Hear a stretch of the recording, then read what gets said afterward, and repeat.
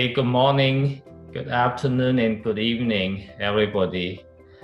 Um, this is Yi Cui. I'm uh, executive editor of Nano Letter. On behalf of the chief editor, Teri Odom, I would like to welcome all of you back to the Nanoscience Global Lecture. Um, so this event, uh, we started since uh, last September to celebrate the 20 years of uh, Nano Letters. I would like to thank all of you to uh, support this event by attending the event and also the excellent speaker uh, since September we have. Um, and this month event, we are fortunate to have uh, three outstanding experts to talk about nanoscience related topics, including John Rogers from Northwestern University, Haotian Wang from Rice University, and Jennifer Dionne uh, uh, from Stanford University. Uh, we'll start uh, the, the webinar with John's talk let me introduce John first, and then I'll certainly when I Haotian and Jen come up to the stage, I will in, in, introduce them individually.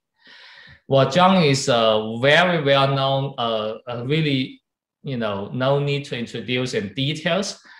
Uh, John currently is a professor of material science engineering, biomedical engineering, uh, and uh, neurological surgery uh, department and by courtesy of electrical and computer engineering, mechanical engineering, chemistry at Northwestern University. What John has done uh, quite a lot of amazing work spanning so many areas. Uh, I, will not, I will not go into the details. Uh, he's really a leader in the field. He has been recognized by numerous awards, including MacArthur Fellow in 2009, uh, MIT Lemelson Award in 2010 and MRS, MRS Medal 2018. Uh, he's also a member of National Academy of Sciences, uh, National Academy of Engineering, National Academy of Medicine, and National Academy of Inventors, uh, as well as American Academy of Arts and Sciences. With that, I will let John uh, take over. Okay, thanks a lot, Yi. So uh, as we were discussing before, I got my second Moderna vaccine yesterday, so I'm a little groggy. And so instead of giving my talk live, I recorded it yesterday, and I'm going to play the recording. But I'll be around for the Q and A and the panel discussion, so I'm not going anywhere. But I'm going to play play the recording. the best way to do it. So let's get this started. Uh, okay, hopefully you can you can see that, and we'll go ahead and uh, play it. Okay, great. Let's go ahead and get started. Uh, my name is John Rogers. I'm here at Northwestern University, and I want to begin by thanking uh, Yi and Terry for inviting me to participate in this Nanoscience Global Lecture, um, you know, in recognition of the 20th anniversary of Nano Letters, a real sort of uh, outlet, you know, a uniquely powerful outlet for research in nanotechnology for so many years. And everybody who's been associated with the journal needs to be congratulated on the excellent work they've done in, in stewarding this important research, uh, resource for the uh, research community, including my own group. Uh, and so I'll try to sort of outline some of the things that we've done in nanotechnology, specifically for applications in what we're referring to as biocompatible electronics. And I'll get into a description of what that's all about by beginning with a, a context and a motivation and a set of schemes that have worked pretty well for us in this uh, area where nanomaterials and nanoscience really plays a central role along with assembly approaches and integrations uh, schemes to, to build real functional platforms that have unique applications in biological research uh, and clinical medicine in certain cases. And so my home department is material science and engineering. So most of what we do has a strong materials component uh, at its core, but but we we're also interested in system level engineering, and so we uh, also incorporate in our group, uh, group's efforts, uh, activities in, in electrical and computer engineering, uh, biomedical engineering, mechanical engineering, and many of the things we do involve sort of a clinical interface as well. And I have an appointment in neurological uh, surgery to kind of facilitate those actions. But at a very high level, what, what we're hoping to do with this notion of biocompatible electronics is to really blur the distinction between man made electronic systems and the kind of electrical constructs that one encounters in the biological world. And maybe the easiest area to think about, area of opportunity in uh, human health anyway, is uh, you know in the context of the human brain. It's biology's most sophisticated form of electronics. And if you want to study how the brain operates or you want to deliver electrical stimulation and patterns that could address various sorts of brain disorders, you'd like to bring to bear to that problem man's most sophisticated form of electronics, the silicon CMOS integrated circuit. But if you think about that kind of integration, there are you know enor- enormous hurdles uh, to to achieving that uh, kind of outcome uh, due to the dissimilar properties between you know the soft time dynamic moist textures of the of the human brain and the and the rigid planar inorganic materials that that are used to build silicon integrated circuits. And so uh, the the question is what can you do from the standpoint of nanotechnology and material science to to bridge that massive chasm between uh, man's electronic systems and uh, you know biology's uh, form form of electronics? And and if you could figure out how to do that that, you, you probably would want to leverage that technology not only in the context of the brain, but uh, you know, in the context of other vital organs of, of the body, the, the heart, for example, is an electromechanical system. And what would be possible if you could wrap the outside surface of the heart, the, the epicardial surface, with, with thin, soft electronics that could monitor electrophysiological behavior and maybe stimulate in a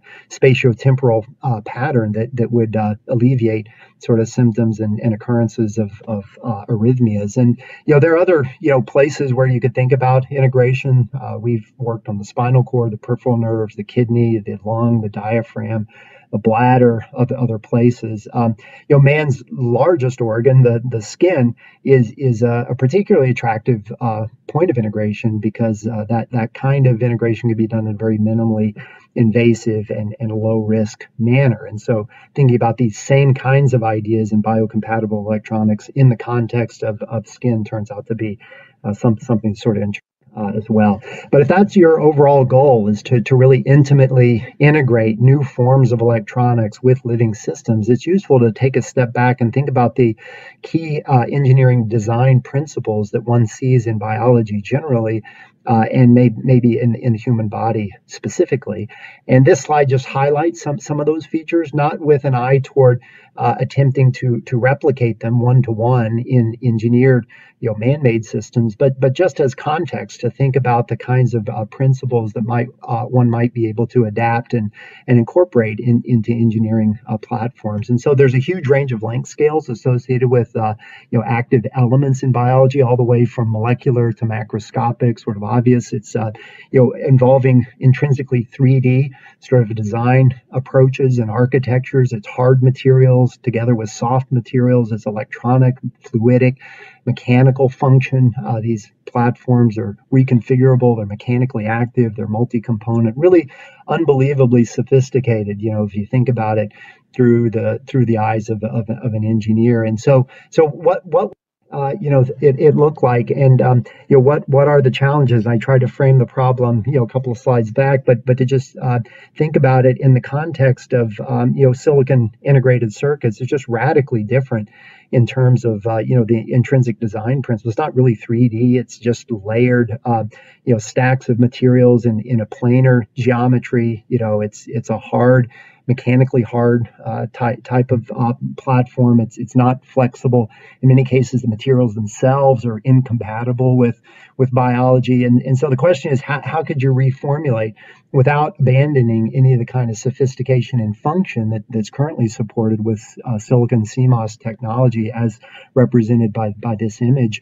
Uh, what would it take from the standpoint of material science to make this kind of uh, technology look more like biology to allow that kind of integration. And that, that really sets the stage for a, a whole host of what we feel are pretty interesting uh, topics in, in basic research with, you know, uh, applied, you know, potential for for really uh, you know developing tools that could be used to to study biology in, in a deeper way, or maybe um, you know systems that could address uh, unmet needs in, in clinical medicine. So there are two two ways you can think about this. One is to um, you know abandon the kinds of uh, inorganic materials that currently serve as the foundations for you know consumer electronics gadgetry and move from silicon to a polymer based semiconductor for example and move away from photolithography and, and think about sort of additive printing approaches. And i think there are a lot of uh, interesting research topics along that particular pathway uh, to, to this kind of reformulation that, that we're contemplating but then the other way would be to think uh, in terms of nanotechnology you know could, could you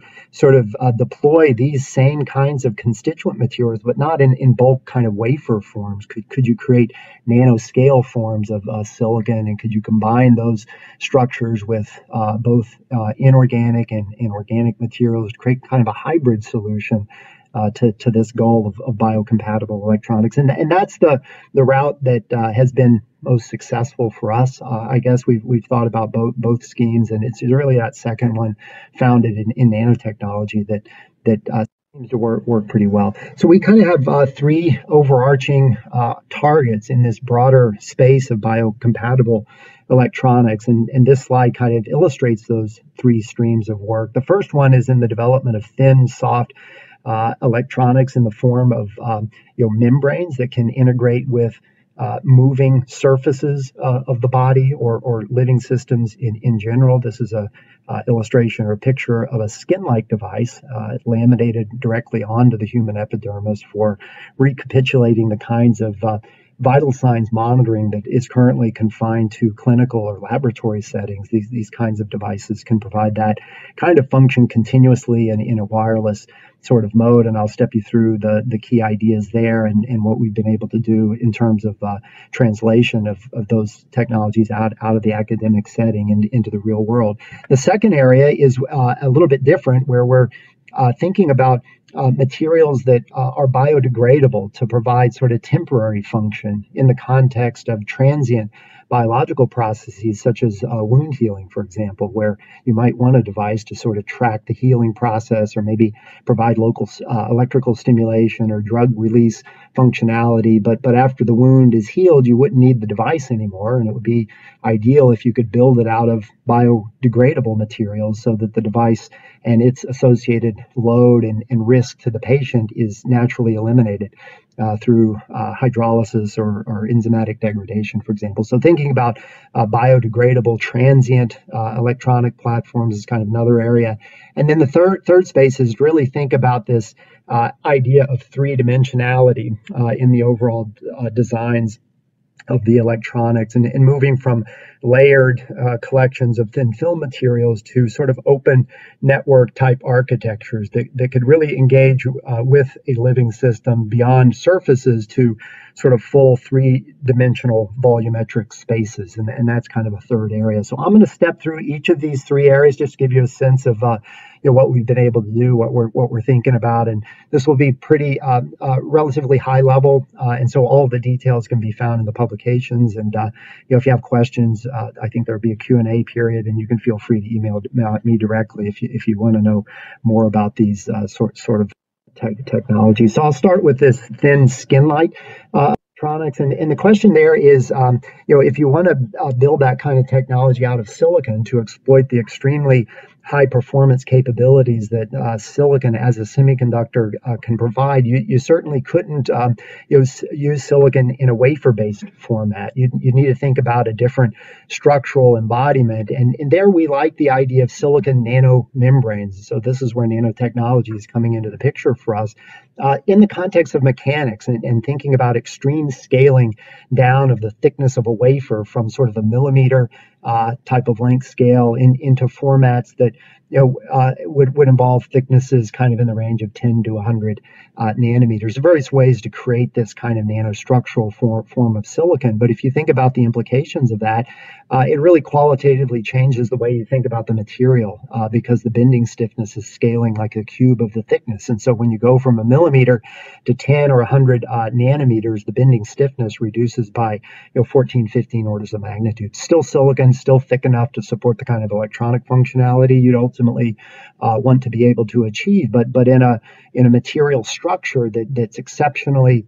uh, bendable from, from the standpoint of low bending stiffness, but also from the standpoint of the minim, minimum radius of curvature that the structure can can be bent to uh, before uh, you know exceeding the, the fracture strains of, of the silicon itself due due to this uh, inverse uh, scaling or the linear scaling of the peak strains associated with bending to a given radius of, of curvature on on thickness. So so reduction in thickness creates a floppy and very very flexible form uh, of silicon uh, but it can't uh, simply replace the silicon wafer because it's not really mechanically strong enough uh, to, to serve as a platform for any kind of practical device. So you really have to think about these silicon nanomembranes as, as building block materials that you integrate on a substrate of interest, and that could be a sheet of plastic or a slab of rubber. Rubber, and if you uh, think about sort of managing the interface adhesion between radically dissimilar classes of materials, so, so silicon and silicone, for example, uh, that in itself can be a very daunting challenge from, from a materials science and a materials chemistry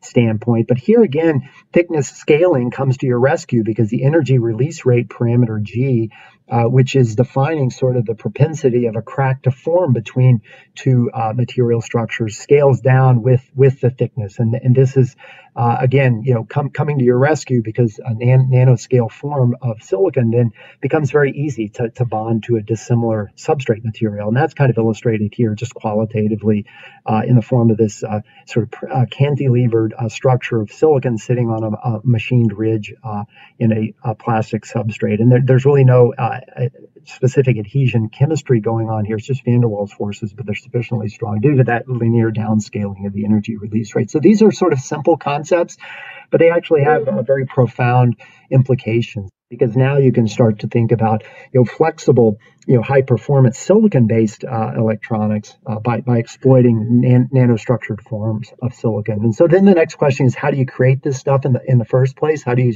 create nano ribbons nano membranes of, of silicon? There's certainly a lot of interesting approaches to to the direct growth of those materials. But then the other way you can think about it is to use the silicon wafer as a starting point. It's a very sophisticated piece of materials technology. Are there ways to sort of anisotropically etch uh, a silicon wafer, you know, shave off the near surface region, very thin uh, elements of silicon, and, and, would that would that be an alternative path? And turns out to be very powerful uh, sort of strategy. And you can kind of do this. There's ver- various ways. In, in, this case, we have a, a silicon wafer with a proper uh, orientation. We're using an anisotropic uh, etchant uh, to undercut, you know, from the near surface region these ribbons uh, of silicon. We just slice them off. You can work your way down through the, the thickness of the silicon, create create really sort of gram level quantities of um, your device grade silicon structures in that way, or you can do it sort of in a, in a parallel fashion. This is something we published in Nano uh, Letters some, some years back. You can sort of sculpt the sidewalls. You can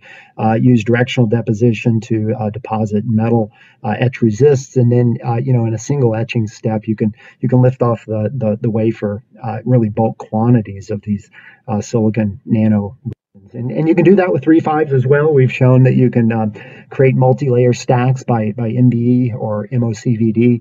Uh, and here we have sacrificial uh, etch release layers that, that can be removed selectively in, in HF. And so this is another way to create bulk quantities of uh, semiconductor nanomaterials uh, where we're kind of exploiting that ultra thin geometry uh, standpoint of the mechanics. And then the question will be how do you manufacture with those materials? And and we like approaches that provide deterministic control, so soft lithographic inspired type approaches where printing not chemistries but actually uh, nanomaterial structures. Uh, and so those processed wafers become inking pads. Uh, you can ink them uh, onto the surface of a stamp, and you can use that stamp to print them down onto a substrate of interest. And you can do this in very high throughput manner with very precise control and very high yields. And so this is an example of that.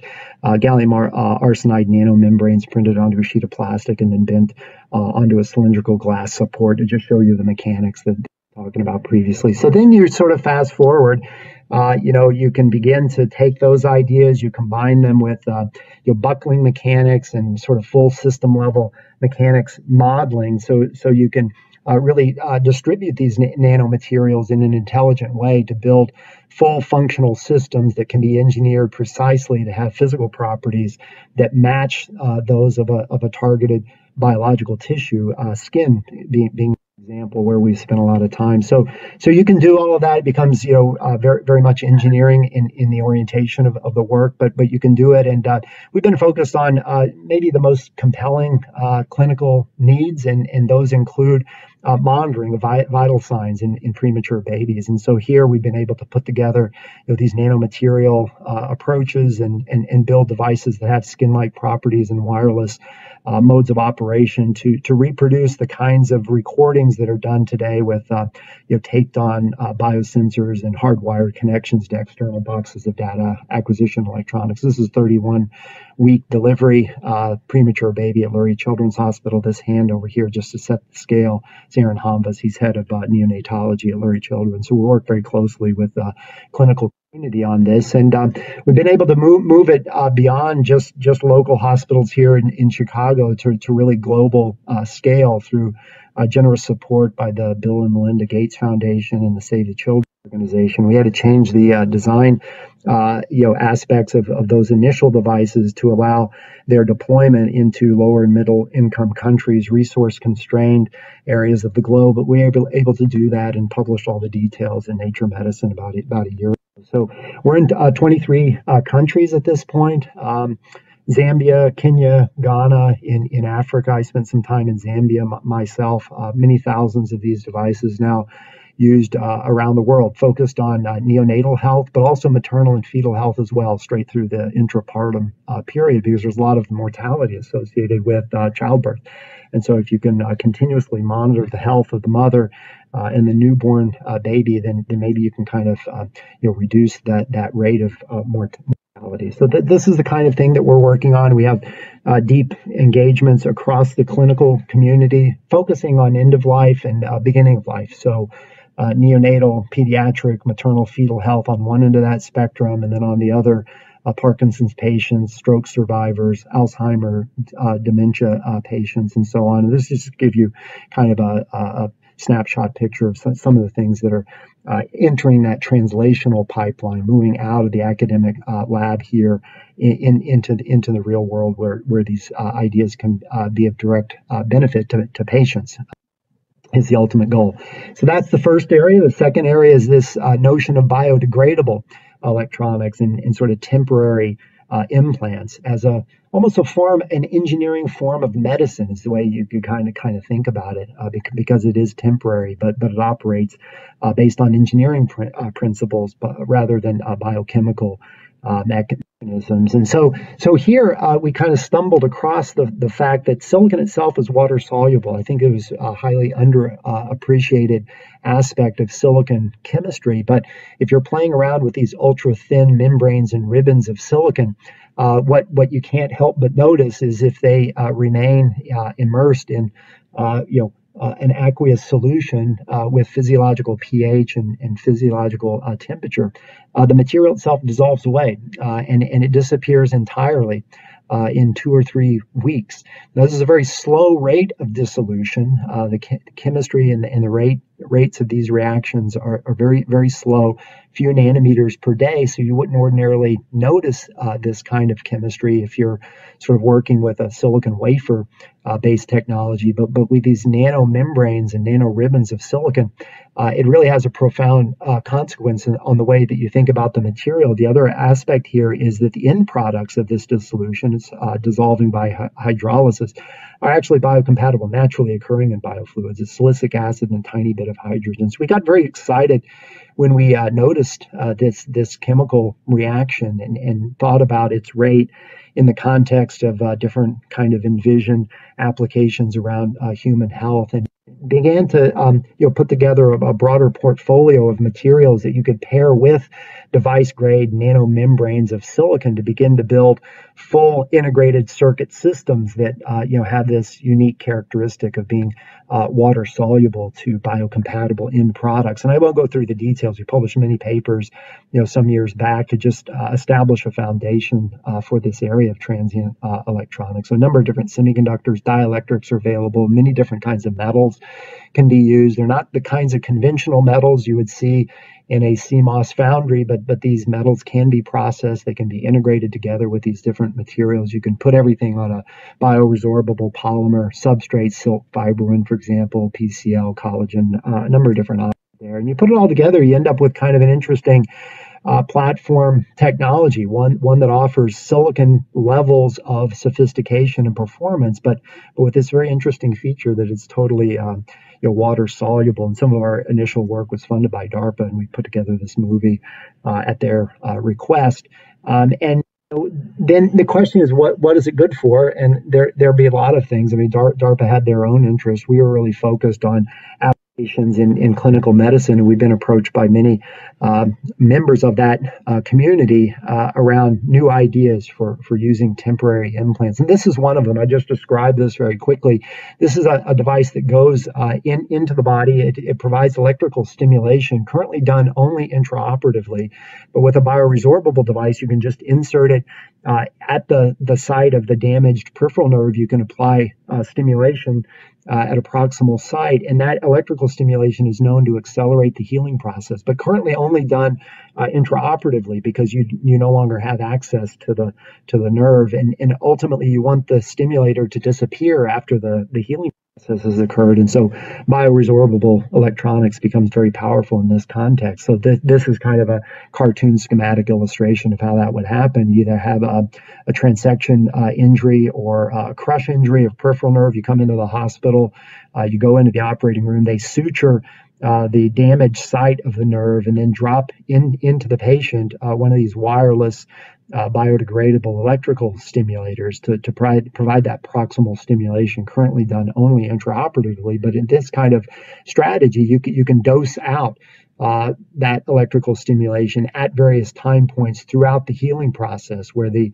uh, end of life uh, of this device is, is complete bioresorption and, and elimination via uh, your natural processes. And so, so we're able to put it all together. It's a silicon-based uh, platform with with a wireless inductive coil for power delivery and wireless control. It's a cuff interface uh, to the damaged uh, nerve, and, and it's completely bioresorbable. Uh, and so it goes into the body and it dissolves and disappears on a time scale uh, of a couple of months, uh, providing an operational lifetime that's on, on the order of one to two weeks. And so we've done many uh, animal model studies of this kind of technology to, to illustrate the efficacy. And this is, uh, you know, an illustration of the cumulative results of those animal model studies, where the y-axis here is EMG amplitude. You can just think about that uh, as a metric uh, for the extent of healing of the uh, damaged sciatic nerve in this case, and uh, time uh, healing time uh, is on the x-axis in, in weeks and we have three scenarios. One is a single day of electrical stimulation. That's basically reproducing the standard of care today and you have a healing trajectory associated with that. Three days and six days uniquely enabled by transient electronics and you can see the um, you know, the rate of healing increases as you increase the uh, duration of the stimulation from three to six days. But then the end outcome actually improves as well. And so, again, we really like to think about this as an electronic neuroregenerative uh, medicine, and we were able to publish it in Nature uh, Medicine. And so, it seems as though that that community is embracing these these kinds of new new concepts, uh, fundamentally enabled by by nanotechnology. So, with the last five minutes that I have, let me talk, talk about this third area. Again, nanotechnology in the context of biocompatible electronics, but now thinking uh, ahead and, and trying to envision approaches that don't simply involve you know, flexible or stretchable electronics integrated on biological surfaces, but instead open network type architectures that can engage through uh, a volumetric uh, space. And then the question is, um, you know, how do you create those kinds of structures in, in the in the first place. And and we like um, approaches that exploit mechanical buckling. And so what I'm going to illustrate here is a uh, FEA-based movie of that buckling process, which uh, allows us to accomplish a geometrical transformation from a 2D layout into one of these open 3D type uh, network architectures. And so I'll show you that this process in the context of this filamentary interconnected 2D mesh structure, which we've bonded at local sites to a pre-stretched elastomer. Uh, and when you relax that pre-stretch, the elastomer returns to its original dimensions and it applies compressive stresses, compressive forces at all of those bonding locations. And so if you engineer this thing carefully, you can achieve a transformation from 2D up into 3D. And in this particular case, that 3D geometry consists of an array of helical coils as a base layer, and then another array of helical coils sitting on top of the first, but oriented 90 degrees relative to that first uh, array of helical coils. And so this is what it looks like in silicon, silicon nanomembranes. You can see the bonding sites here uh, defined by these square pads, and then you can see those helical coils, one uh, array sitting on top of uh, another. And so this works uh, quite well. It's qu- quite simple, uh, but very powerful strategy for moving into the third and uh, this is a cross-sectional view of that same structure, just to give you a sense of the extent of three-dimensionality that, that's possible. And this is silicon,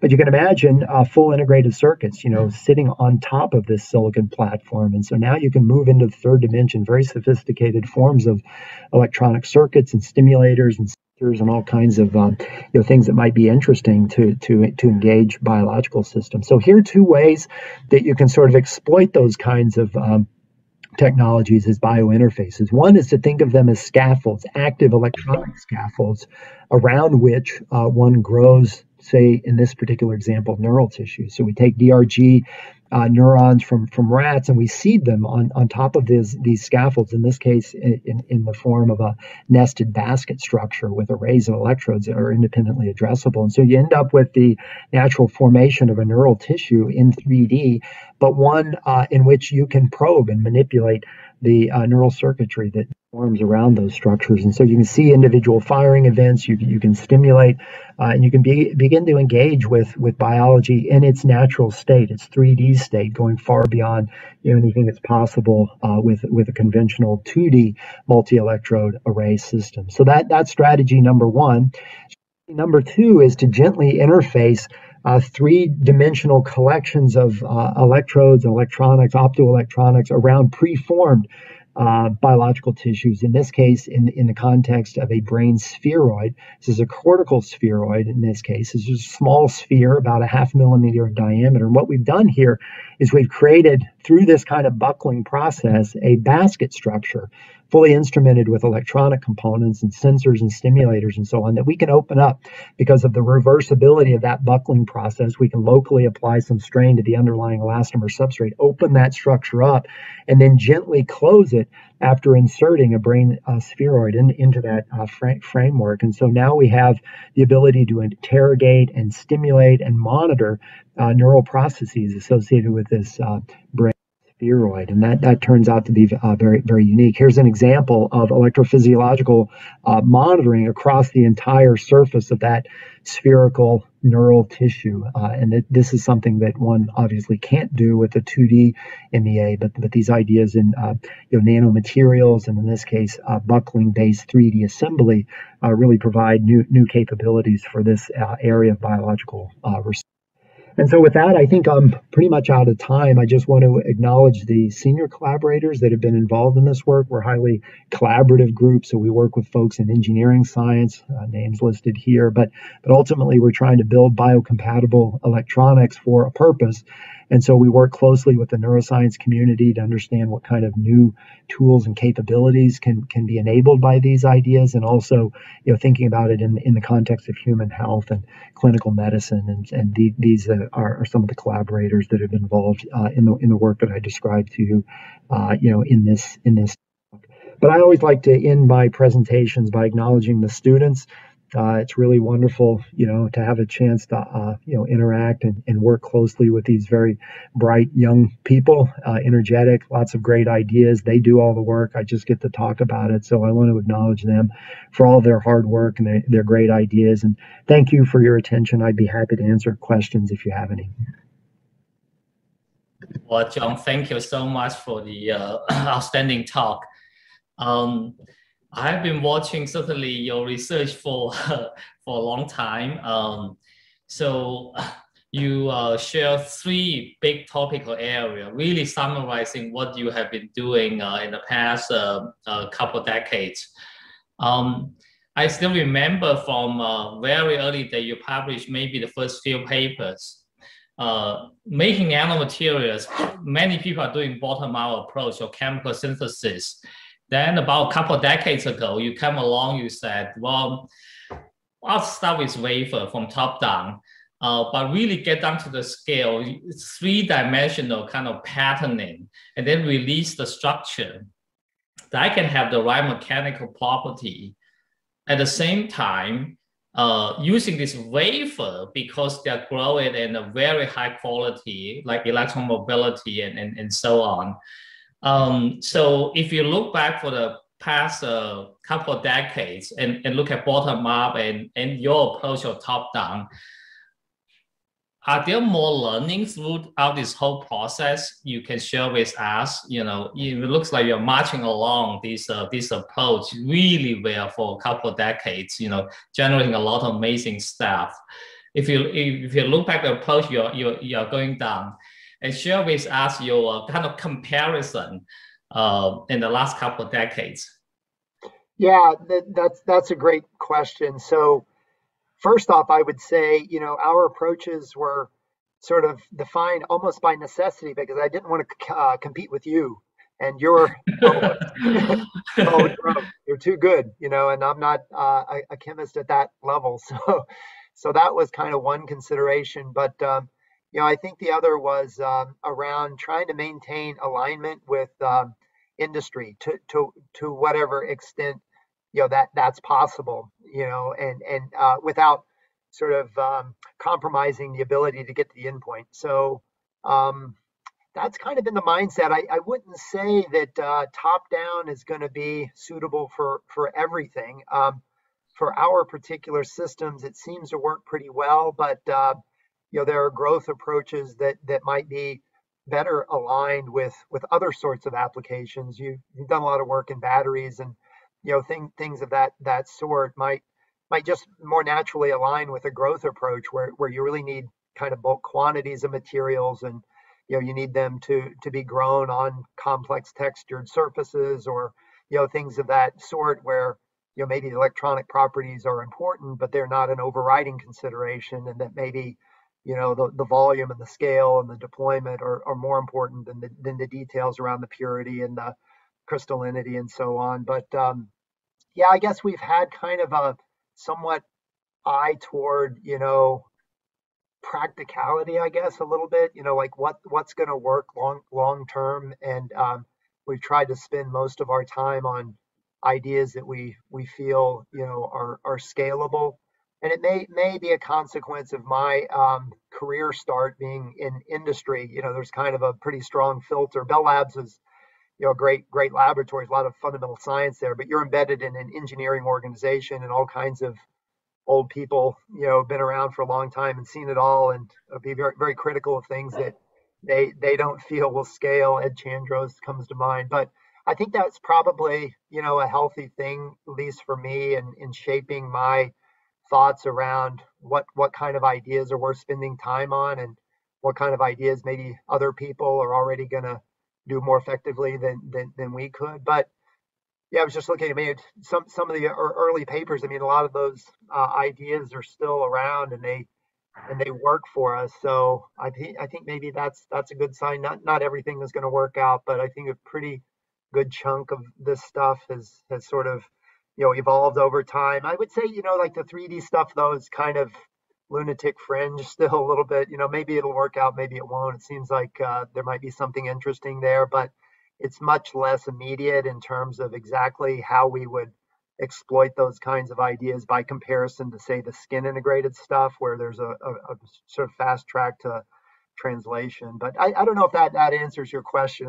Oh, yeah, absolutely, John. I, I think I really appreciate it. I, I, myself have the interest also translation type of uh, research, right? I, I appreciate your comment very much. Once you have the in, industry perspective in mind, and uh, the approach you are taking for particular technology and applications, then you know how to choose early on. So I, I think you are you are exactly. I mean, the approach you are taking excites me. Yeah. Um, so one more question, right, for for you also. Uh, related to your 3D electrode, that's just amazingly beautiful interfacing with uh, biology.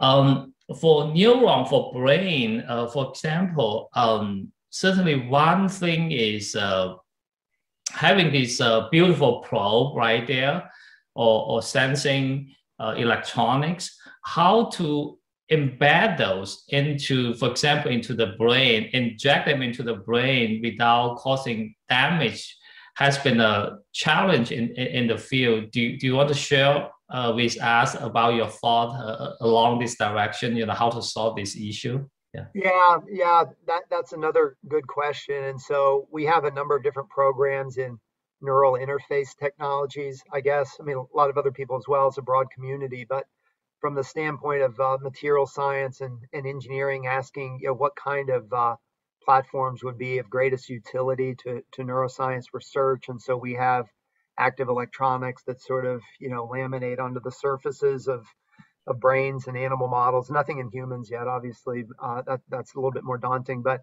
but but sheets and then you know penetrating probes. You know, a lot lot of groups kind of working along those lines. I guess what we're attempting to do is to build cellular scale optoelectronic systems, so kind of beyond passive electrode arrays to multifunctional ultra miniaturized probes with you know fluidic delivery capabilities and you know, light emission detection, that that that kind of thing. So I, I think those two platforms maybe have more immediate relevance. And uh, you know, I think these 3D structures, as I mentioned before, is a little bit more lunatic fringe. We're just trying to you know feel it out a little bit and uh, i don't have a good answer for how do you embed them i mean you, you either have to grow around them or you uh, open them up and and, and close you know pre preformed uh, uh, t- tissue samples, and, and those are the two strategies I, I featured in this talk. But but the broader question of how do you get those types of 3D networks into, you know, a fully formed neural tissue? That I don't know. I don't know how to do that. That might be impossible. You know, it's a it's a tough one. yeah, a, challenging for the whole field to uh, tackle for the coming yeah. decade, right? So that that that's good. There, there are a lot of young students in in the audience. Uh, right there. So uh, good for them to to think about. So so John, I think we'll uh, we'll we'll continue to the next mm-hmm. talk. Uh, uh, stay online with us. We'll we'll come back for the uh, panel discussion. Um, so let me now invite the uh, next speaker, uh, Professor Haotian Wang, uh, to come to the stage. He's currently an assistant professor in chemical engineering uh, at Rice University. Uh, I was actually fortunate to be uh, his uh, PhD advisor when he was at Stanford uh, here working with me, uh, you know, a number of years ago. So after that, uh, he joined in Harvard as a Rowland Fellow. really established himself fast. Within two years, he has just been doing so well at Harvard and uh, uh, spent two years as Rowland Fellow. He moved on to uh, to Rice as assistant professor. Um, he has been working in catalysis areas, absolutely coming up with very creative ideas. Uh, he has already been recognized by a number of awards, uh, including MRS uh, Graduate Student Award, uh, and uh, he is named Forbes 30 under 30 in science. Um, so he's also a Sloan Fellow. And particularly for Nano Letters, he serves on the early career advisory board for, for Nano Letters. With that, uh, Haotian, I'll let you uh, take it from here. Well, thank you, Yi. Uh, thank you very much for your uh, very nice and encouraging uh, introduction. And also thank you, Eve, and also uh, uh, Teri for your invitation to give me this great opportunity to share some of my uh, uh, recent years research uh, in this nanoscience global lecture. So let me first begin with uh, sending my congratulations uh, to all the editorial members, you know, authors and also readers for the 20 year anniversary of Nano Letters. this is a remarkable journey for the past two decades uh, that influenced uh, generations of researchers in the nanotechnology field and also witnessed the great success of the uh, nanoscience development. And I also have some special personal feelings, of course, with Nano Letters. Like uh, my very first research paper that begins my catalysis career uh, was actually published uh, in Nano Letters about eight years ago. I think when I was a, a PhD student in Yi's Group. Uh, and uh, it's amazing when I review this paper, it has been already been cited for 1700 uh, times that uh, demonstrates the great visibility and the also and the readability of the Nano Letters that has give us a great impact um, in all of these uh, nanotechnology fields. And that actually, that paper, when I prepared this slide, that paper actually brought my um, memory actually back into uh, 2011 when I would just initially joined the Yi's Group. And it's so uh, surprising for me to think about already I have known E for, for 10 years and this time really flies so fast. And I, I believe we know that in the next 10 years, time will fly even faster. Just a few days ago, the, uh, the government announced the new uh, ambitions goals that the, uh, the, we will cut the US CO2 emissions in half in the next 10 years by 2030. So if we don't take actions that fast, uh, the 10 years will slip away from our hands really, really fast. Uh, I think the government, the great confidence in delivering this goal has been um, partially supported by the great and fast development of clean technology in the past several, several decades that with the, the, the, the sufficient and efficient uh, harvest energy harvesting systems that we can now produce clean electricity in relatively cheap price and the prices continue to decrease. And we have a social goal set several years ago that we can bring the solar energy price to about three cents per kilowatt hour. And the, there's a recent DOE, a new target to further bring that target back to two cents per kilowatt hour. So in the future, we will have a lot of clean and cheap elect electrons, electricity, and how we're gonna use these electrons or becomes opportunity and also challenging issue. So our idea is if we can combine these clean electricities together with very accessible molecules uh, from the air, such as CO2, oxygen, water, and the nitrogen, and so on, with the help of catalysts, we probably can store those electric energies into very simple chemical bonds, like CH bonds, HH bonds, like hydrogen, or CC bonds, and so on. For a lot of applications, uh, in energy storage as well as green synthetic pathways for fuels and chemicals. And among those uh, electrochemical processes, the CO2 reduction actually received a tremendous attention over the past several years, not only because it has been able to enable us so many uh, uh reaction pathways to generate different type of products uh, uh from C1 products, you know, CO, methane, all the way to C3 product like N-propanol and so on. But also it, it's because it can actually receive very strong market driving force to produce these chemical feedstocks from CO2 while we can, we can reduce the amount of CO2 in our atmosphere.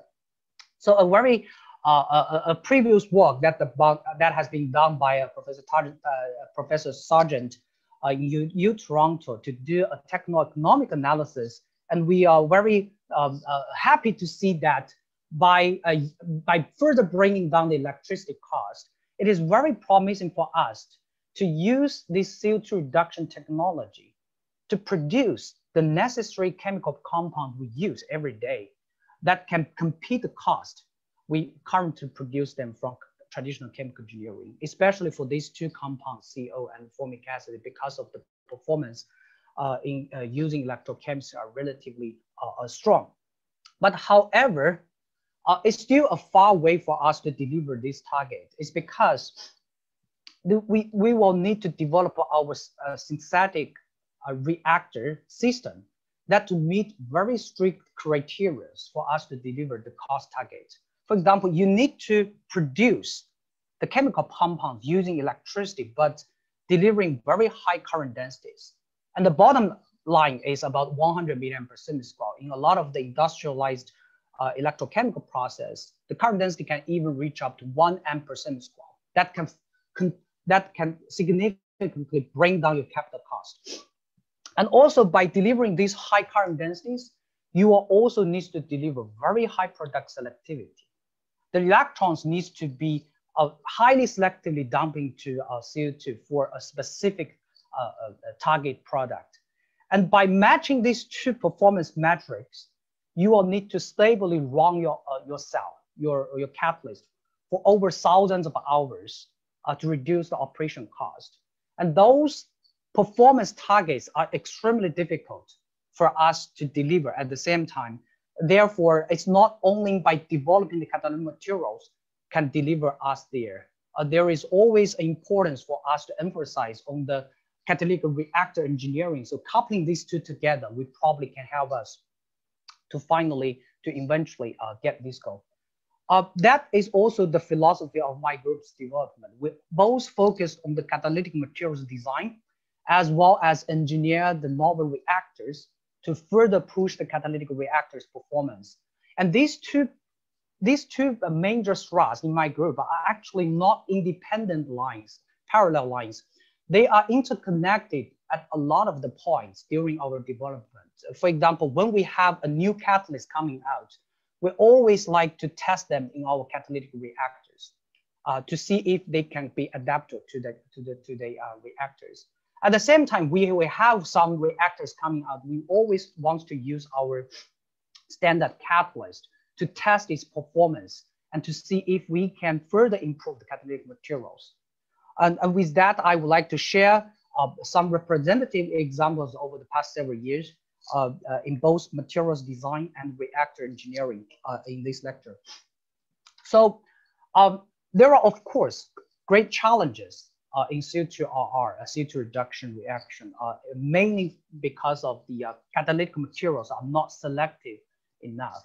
And I always want to emphasize there are uh, three typical challenges. First of all, there is strong competition from hydrogen evolution reactors because the CO2 needs to be coupled with protons that comes from water. And when you apply negative potentials, not only CO2 can grab your electrons, water will also be like to grab the electrons to produce hydrogen. So we don't want hydrogen, we want the, the CO2 to get the electrons. You need to get very high Faradaic efficiencies. So that's a one typical challenge. And also low selectivities. You see all of these pathways are very close in their thermodynamic potentials. So electrons can freely choose their pathway to different products. That's not what, what we want if we really want to industrialize this process. And also for high value products, so many electron transfers, the activity will also be low. That actually relies the key development of electronic properties of a catalyst that can help us to guide the electron pathways towards a specific target. So uh, there is always an interesting example that I want to share with the audience is uh, the importance of electronic properties uh, in guiding the uh, CO2R performance is like we, if we look at the platinum gold, they only have one d electron difference, but their materials property and their electronic properties are so different that results in a completely different catalytic performance in CO2RR. As we know that platinum is uh, the best hydrogen evolution catalyst. It never dump electrons to CO2, but its neighbor, gold, is till today the best CO2 reduction to CO catalyst. So if we move our attentions away from these noble metals to those uh, uh, low cost transition metals like uh, cobalt, iron, nickel, and so on, people at the beginning really think about uh, the nickel as a good candidate, not only because it's a very good HER catalyst to compete with CO2 reduction, but also it can be easily poisoned by CO. So you don't want a product that you want that cannot dissolve away from your surface. So at the beginning, we tested the nickel surface. You see, most of the electrons goes to hydrogen, 100% exclusively. At that time, our idea is if we can further shrink the size of nickel nanoparticles to isolated single atoms, here I say single atoms is referring to atoms not floating around in the air, but it is confined in some well-defined substrate, but there is no nickel-nickel direct interaction. So we can continuously change the band structure from a metallic band structure to discrete band structures that could dramatically change its electronic properties and as well as its catalytic performance. So that idea at the beginning was confirmed uh, by uh, collaboration with Professor Jens Nørskov Samira uh, uh, uh, in 2017 at that time. Uh, we successfully developed these nickel single atom doped in graphene defects and simulate each of the elementary steps of CO2 reduction and conclude that those single atomic sites might be the active site for CO2 reduction uh, compared to nickel, because we can see when CO formed, the desorption becomes so difficult. But on the single atomic site, the CO desorption becomes uh, uh, much easier than the nickel surface. But at the very beginning, my postdoc Kun Jiang uh, uh, take that task uh, to synthesize those nickel single atoms. But at, at the very beginning, we have very little experience how we can systematically controllably synthesize those nickel single atoms. So at the beginning, we just mix everything together, nickel and carbon, and, and com uh, come up with this core shell, um, nickel nanoparticle core and graphene shell structure. And that actually gives us some of the opportunity Number one is, first of all, if our graphene shell can tightly surround the nickel nanoparticles, we can prevent the direct contact, contact between the nickel nanoparticle and water to suppress the HER.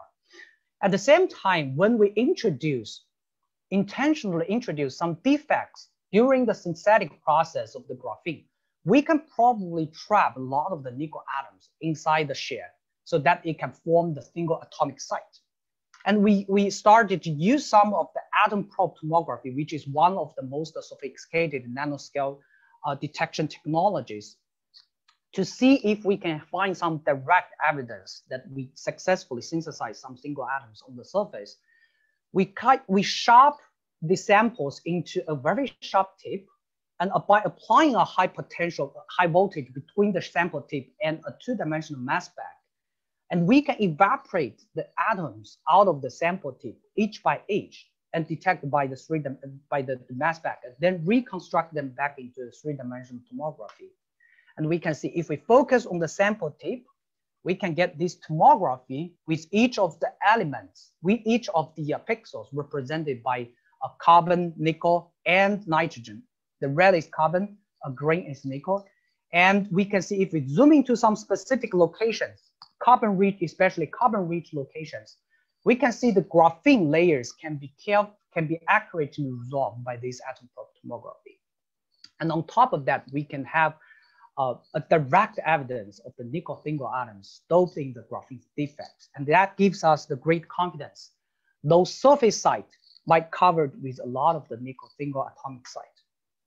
By testing that in our traditional H-cell reactors, we see that by applying more and more negative potentials, our CO generation Faradaic efficiency continues to ramp up to more than 90% while the hydrogen evolution reaction was suppressed to below 10%. And if we have a direct comparison between this nickel single atom catalyst and this nickel metal catalyst, this is a very different uh, reaction pathway selection. As we can see, uh, the reaction pathway is completely flipped over when we change the electronic structures of the same metal. Um, and the stability also runs very well. Uh, and at, after catalysis, we do see that the core shell structure still well maintained. The nickel cannot in contact with water to generate hydrogen. That's good. But the, the, the following question, and very natural question, is um, even, even though we have this shell structure, we don't use the nickel nanoparticles here for catalysis. The only reaction site are on the surface. So why don't we still need to have these nickel nanoparticles in our system? The next generation of our catalysts, we try to get rid of these nickel nanoparticles because they are not, you know, uh, uh, CO2R friendly in our system. We don't want it to be exposed in water. So we just directly start with some uh, graphene nanosheets and try to spray coat trace amount of nickel atoms on the surface. By uh, do a simple thermal annealing, those atoms are automatically sucked into the defects to show us with these isolated nickel single atoms. And the performance can become even better compared to the first version of the core shell structure, as we can see, the uh, over 95% of CO selectivity and below um, 8 or 5% of hydrogen evolution can be compressed.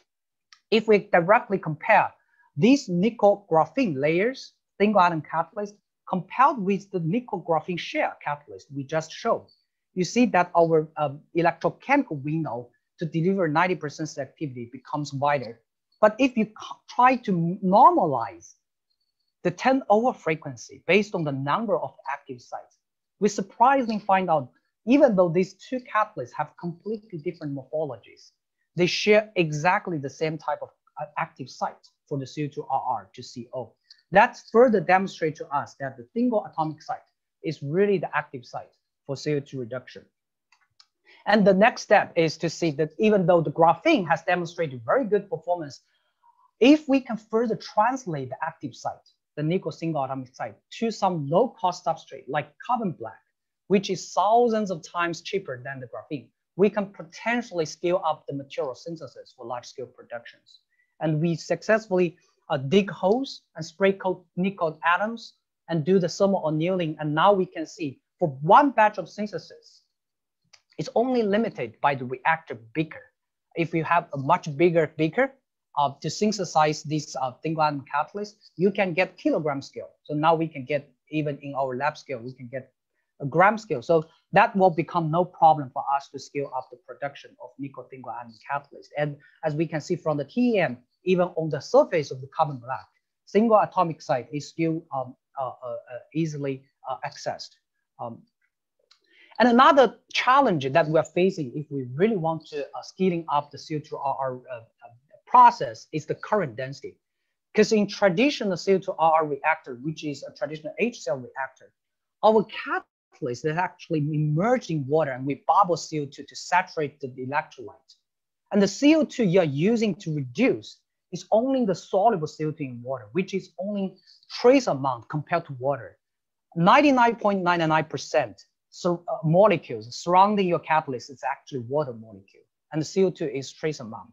So when you start to deplete your surface CO2 molecules, then you, you then your performance starts to be controlled by kinet by mass diffusions, not anymore by the kinetics. And we can see we always observe the CO selectivity ramp up to 90%. And if we want to still uh, deliver higher current, the selectivity starts to drop. Um, and hydrogen evolution reaction starts to ramp up.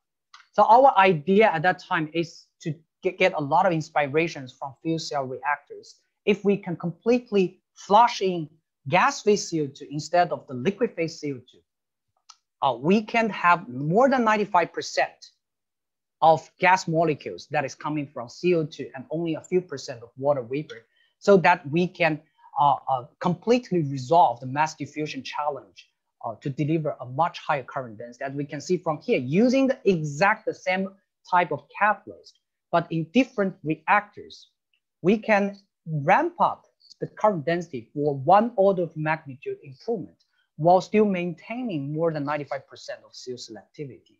Uh, compared to this one, it's only 10 milliamp percent scale that is saturated uh, um, for, for CO2RR.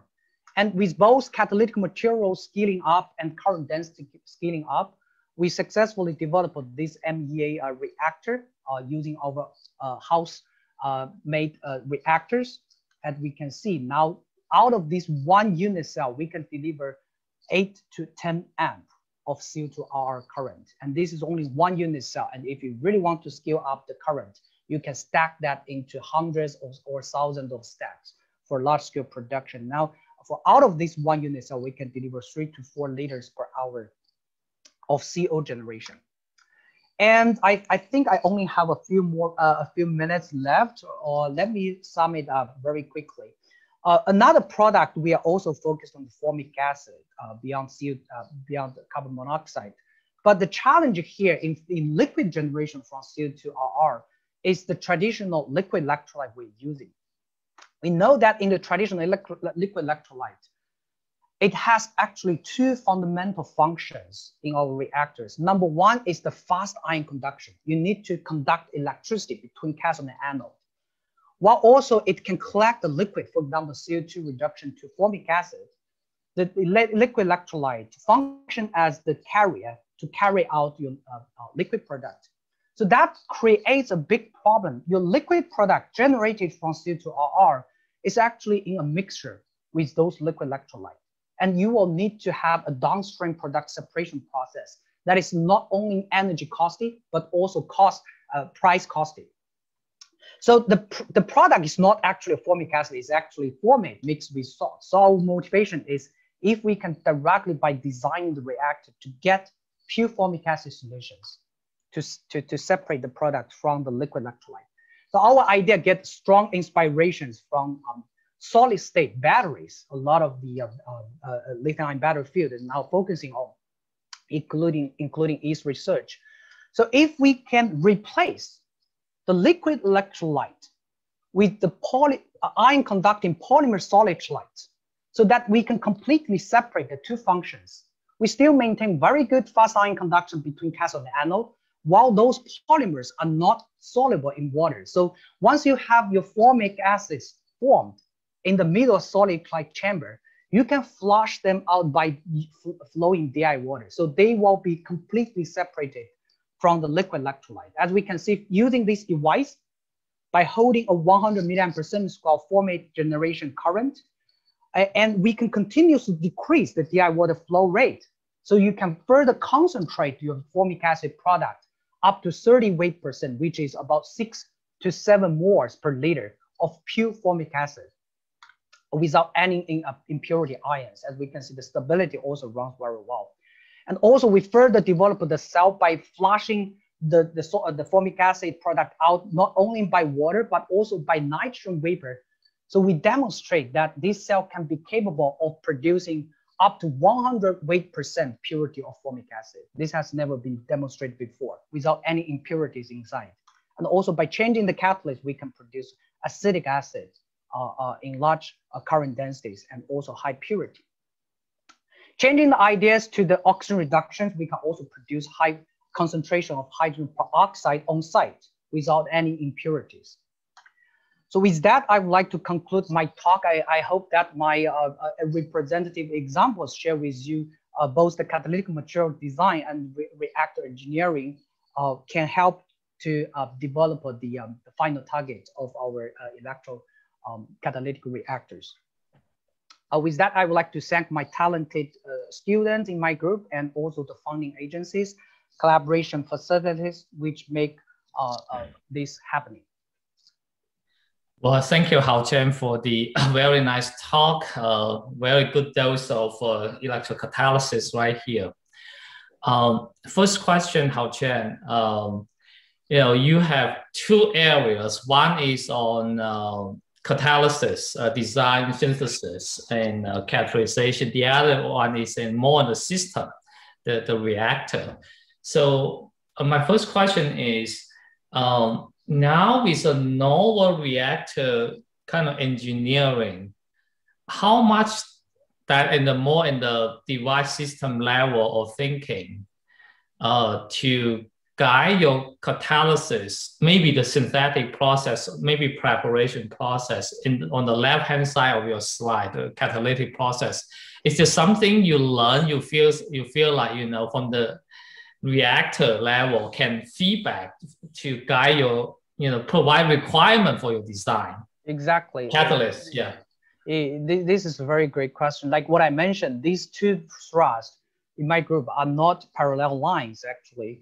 Uh, we get a lot of inspirations when we're developing these reactors because when you really uh, test your catalyst in a reactor you know what's the limitations when you want to deliver high current density and so for example the mass diffusions will always become a challenging part uh, in our reactors, uh, not only the intrinsic catalytic activities, because when we test the catalyst in a standard, you know, like H cell type uh, reactors, um, we only focus on the in intrinsic activities and don't worry about too much about mass diffusions. But when mass diffusion coming in, uh, not only the intrinsic active site matters, but also the porosity, the mass diffusion channels that plays even more important role uh, in, uh, in delivering high performance metrics. So um, that's for sure. Also, the development of in catalytic materials give us give us a lot of inspirations when we do, when we are uh, trying to design reactors, because um, a different type of catalyst might uh, be uh, uh, you know in a different compatible with the reactors such as the membrane, solid electrolyte, and so on. We we we get a lot of the um, inspirations when we test different type of catalyst in different membranes they have different responses. So all of this um, um, uh, can help us to think about deeply when we really want to use this catalyst um, in our practical applications in the future. Yeah, I'll ask another short question. Uh, it's also coming from the audience. Um, so this electrocatalysis, uh, you know, current density, selectivity, stability, uh, these are all important. Uh, which one, how do you balance that? Particularly in thinking about single atom catalyst, I, I, I would say what is the stability uh, a big concern. Uh, share, share with us about your thoughts, Haotian. Yes, yes. So I think these three performance metrics uh, are all matters actually. Um, the current density, of course, uh, the, the higher current density you have, uh, the smaller device you can deliver the same capacity that the capital investment for your device will be lower. Uh, product selectivity that relates with your operation cost. You want higher product selectivity so that the, the, the, downstream separation and so on will be easier. But stability is usually always the uh, most challenging part because uh, uh, for a lot of catalysts, uh, membranes, reactors, the stability is not only um, a, a, problem or an issue with the catalytic materials. So when, when we focus on catalytic material design, we don't we, we only focus on the stability of the catalyst. But when you test the catalyst in the reactor, a lot of other components may also play a role here.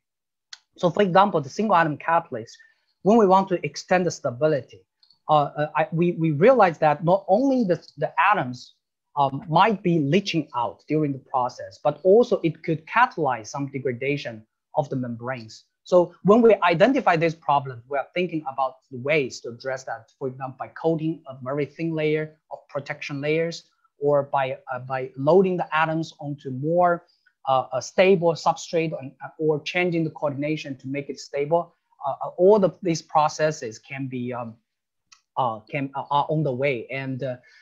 Give you um, a big picture about the single atom catalysts because those catalysts are synthesized under very high temperature annealing. So they are very thermally stable actually, because um, they are they are more tends to to to be doped in the defects of the graphene than aggregates together because of formation energy. But when the current density coming up, uh, there is new challenges that could weakening the bond structures that um, uh, we were hoping that uh, in the future by changing the surrounding coordination or so on, uh, we can solve that problem. Well, thank you so much, Haotian. Uh, stay with us for the panel discussion. Now, let me invite our chief uh, editor, uh, Professor Teri Odom, to the stage to uh, moderate uh, a Jen Dionne session.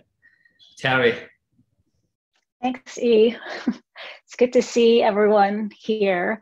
Um, and if E is too uh, humble to trumpet his own success related to this. These this webinar series is really his he and the early career board's brainchild, and I think it's been incredibly successful. So thanks, E, for doing all of this uh, work and uh, having such strong vision.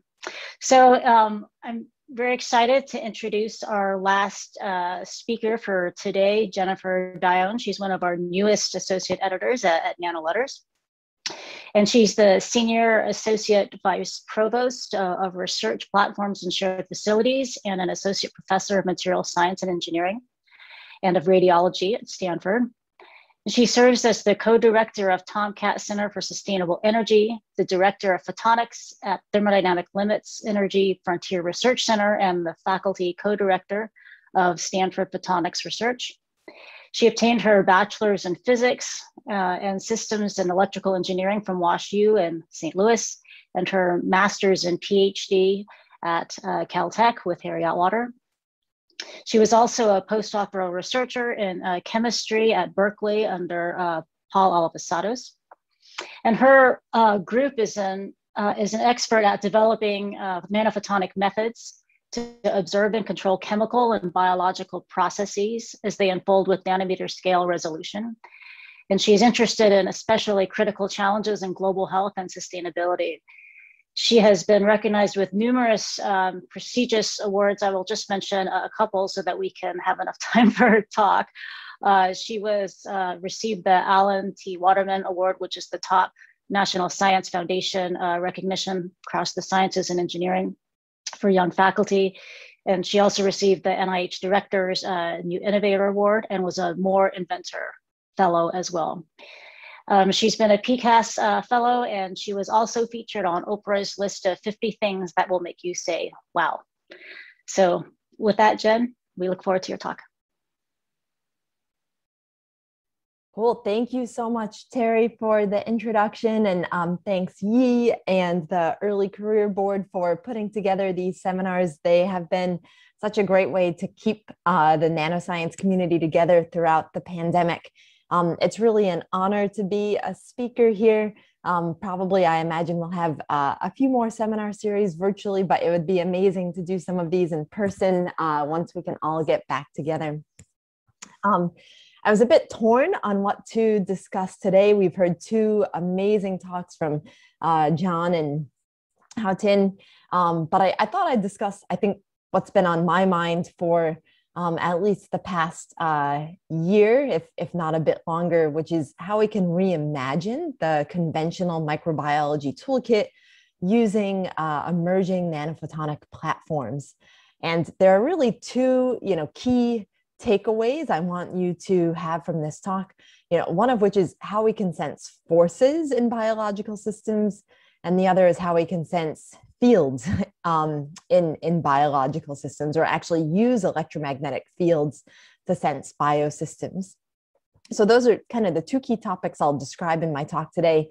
You'll get to see the students and postdocs pictures throughout my presentation. The work would not have been possible without all of their contributions but I also want to give a shout out to my collaborators, um, especially Stefanie Jeffrey and Miriam Goodman. Many of these collaborators are in Stanford School of Medicine, um, and in many ways, they were inspiring for uh, the work that we're presenting today. So I wanted to start off with a quick overview of um, how our body works when a, a, foreign invader comes along. And I chose the example of the COVID virus. We, of course, know that when um, virus comes along, like COVID, it'll inject its viral RNA um, into um, our host cells, um, thereby infecting it. And if a portion of the spike protein um, happens to leak off, it'll bind to one of our B cells um, on its membrane receptor, like a B cell receptor. And that actually initiates a cascade of events in our immune systems. Um, for example, oh, my uh, my let me go back. My screen is jumping ahead. so for example, a T cell will come along and recognize a portion of the spike protein um, on one of the B cell receptors and actually induce the B cell to differentiate. Once it differentiates, it basically starts producing um, receptors at a very fast rate, a rate of about 2000 per second. And those receptors are what we now know as antibodies. So being nanoscientists, uh, antibodies are, are, relatively large. They're about 12 nanometers long, 14 nanometers across. And once they latch onto um, the virus, then um, other cells like macrophages come along and essentially destroy um, the antibody decorated virus. So this talk, like I said, will focus on kind of forces and electromagnetic fields. And in the first part of my presentation, I want to describe an image or a vision that we have for how we might quantify mechanotransduction, especially between cells. And what motivates us is understanding immune responses and not just the biochemical response, but also the mechanical response that might be present at what are known as immune synapses. So these immune cell interfaces that basically cause differentiation and hence cause, for example, antibodies to be released. So, how can we develop sensors of mechanical forces. And like I said, cells and immune um, synapses are really what motivate us. But as you'll see throughout my presentation, force actually manifests itself in a variety of biological systems. And then in the second part of my presentation, I want to describe how we can improve or develop improved um, COVID assays using uh, what we call high quality factor metasurfaces. And um, this part of my presentation really focuses on how we can detect various gene fragments. So it can be applied not only to COVID, to, but to a variety of diseases and, and also cell-free DNA. Okay, so in developing uh, mechanical force sensors, first I wanted to describe why it is that you might think there's force in these immune synapses, either at the interfaces between two immune cells or at the immune cell pathogen interface. And here's just an image um, of a T cell, which here is stained purple, um, which you can see is kind of latched onto um, a target cell. So this could be another immune cell or it could be a pathogen. And if you take a cryo-electron microscope slice of this cell-cell interface and zoom in, you'll notice that there's actually this pore that the T cell has inserted into the other cell. And this is a pore that basically uh, kind of opens up a hole um, in the other cell so that way chemicals can be released, either instructing the cell to do something or targeting it for death. So as you can see, this pore is likely inducing quite a bit of force um, and it's thought that the force of this immune cell pathogen or immune cell immune cell interface might actually play a really key role in how our immune systems respond and also might be a really good indicator of various immune therapies. And yet there's no way to directly measure the forces at these cell cell interfaces. If you look to the landscape of how people generally measure force, of course, atomic force microscopy is an extremely powerful method um, but the size of the AFM probe that you would use when it's attached to the cantilever is, is too large for a lot of um, in vivo or in situ work. There are also oil droplets, which, which can measure millinewton down to micronewton forces. And what you're basically doing is looking at how the shape of a spherical oil droplet is deformed when there are different cells kind of pressing on it. But again, it's not really ideal for in vivo work. As we get down to smaller sensors, and you can see here on the vertical axis, I've plotted the sensor size with respect to, for example, a red blood cell or um, a bacterial cell or a viral particle. These smaller sensors are really ideal for um, in vivo measurements, and many of them are actually optical based sensors. So whether you're working with plasmonic tethers or uh, FRET molecular pairs or quantum dots, generally the optical signal is a really great way to read out what the force might be um, in a nanoscale size sensor. The challenge with a lot of these optical sensors is that they generally contend with tissue autofluorescence. So many of these are excited in the visible or the ultraviolet range where our tissues also absorb and then subsequently emit light. And then Importantly, a lot of these sensors suffer from photo bleaching. So you can't do recordings over many minutes or in some cases many hours like you would need to for these immune synapses. And they also have a pure intensity change. So you're just looking at how the intensity of the emitted light is changing rather than, for example, the wavelength or the color. And that means that if you're trying to make an in vivo sensor, you'd have to contend with, you know, for example, how your tissue or organ or organism might be changing because that would change, for example, the incident laser intensity on your sensor.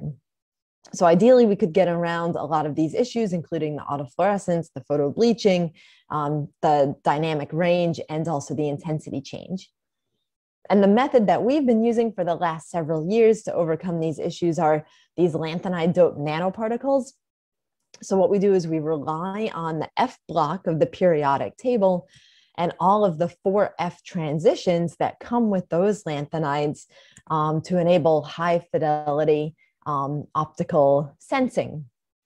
And one of the key advantages of working with the F block is that they have a number of transitions that can bring you either within the two near infrared tissue transparency regions you know, or from one of those two visible frequencies. And here I'm just showing you an image of a series of lanthanide doped nanoparticles, um, all excited with 980 nanometer light. And the efficiency of this upconversion process to go from the near infrared to the visible is actually relatively efficient. You can get up to a few percent efficiencies um, in some of these small nanoparticles. and even though their efficiency is not as high as what you might get with a quantum dot um, or a molecule, because near infrared light penetrates so much further um, through tissues, um, and you don't have any autofluorescence, you can see here in this image of the rat, you can still clearly see the up conversion coming from some of these nanoparticles compared to what you would get with a much brighter quantum dot that's excited in the ultraviolet. And then at least in studies done um, before we kind of dove into this field, um, it appeared as if the nanoparticles had relatively low cytotoxicity. Of course, that needs to be evaluated in each system that you're going to be doing these uh, imaging experiments on. But um, for us, it seemed quite promising to put these lanthanide dope nanoparticles into a variety of biological systems. The challenge in creating a force sensor is that these F electrons are extremely well shielded from their environment. So as you apply force onto a lattice, you're not going to be really deforming those F electrons as well um, as you might be with a, a different sensor or like something that's flexible like a molecule. And just to illustrate kind of how um, challenging it is to get sensitivity out of these F electrons and these lanthanide ions, here I'm just including some of the salts that we would work with in making some of these lanthanide dope nanoparticles like an erbium oxide based salt or an erbium chloride based salt. And you can see that they're kind of a pale, like pinkish or purplish color, even though in both of these cases, you're swapping out the ligand field or the crystal field that's surrounding the erbium. So you've completely changed the nature of the atoms surrounding the erbium in this lattice, and yet there's only a very slight or very modest color change. And you can contrast that with what we all know from chemistry with these very diffuse D electronic um, energy levels, which are extremely sensitive to changes in their surroundings because they're so spread out around the atom. So if we take chromium and now consider a chromium oxide lattice or a chromium chloride lattice, you can see there's an extremely vivid color change uh, from purple to green Similarly, if you were to dope uh, chromium and alumina oxide, that gives you the brilliant red color um, that we've seen in rubies. So our idea to create a force sensor that had a lot of the advantages of these lanthanide dope nanoparticles, including the ability to operate in tissue transparency windows, photostability, and low cytotoxicity with force sensitivity was to dope in D metals into these nanoparticles. So here I've included a diagram that's a lot like a, a FRET transfer diagram, just to give you a flavor for how this works. So we have a single nanoparticle, um, generally a ceramic host. Um, in many of the particles I'll be showing you today, that's the sodium yttrium fluoride host lattice, but we've also worked with um, strontium and calcium yttrium fluoride host lattices. So basically looking at that alkaline earth or that group two of the periodic table. And then in that host lattice, we dope in the lanthanides and we also dope in the D metal. And for a lot of the particles you'll be seeing today, we're going to dope in ytterbium as the light absorber. So that will absorb most efficiently around 980 nanometers. And then erbium um, is the light emitter. So ytterbium as an ion transfers its energy over to um, erbium. So you can see the ytterbium erbium pairs as kind of the purplish and greenish pairs within the ceramic host lattice. And erbium emits largely in the green. There are kind of two subtle green peaks, which we label here as green one and green two, and also in the red. And then what we do is we dope in small concentrations of manganese, which has an energy level below one of the energy levels in erbium. So you can see the manganese here indicated in orange. And when the manganese is, um, or when the particle is compressed, the manganese energy level actually goes up. So we wind up changing the energy transfer from one of the erbium states um, to manganese. So essentially turn off one of these peaks and cause the other peak, for example, the red peak, to become stronger than the green peak. So here are some images of our synthesized nanoparticles uh, my students have become quite good in, in creating a variety of shapes and sizes, nanoparticle phases, and we get extremely monodispersed syntheses. So to illustrate how it is that applied force and applied pressure changes um, that red to green ratio that we see, Um, here were some of our earlier studies where we put our nanoparticles in between two diamond culettes. And this is uh, a technique called diamond anvil cell microscopy. It's a really simple way of just applying mechanical pressure onto nanoparticles simply by relying on the hardness of diamond and then squishing the two diamonds together.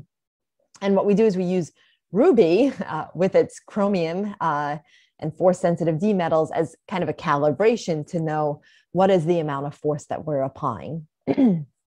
so we excite our nanoparticles at 980 nanometers, and then we collect the visible light that's emitted at a range of pressures.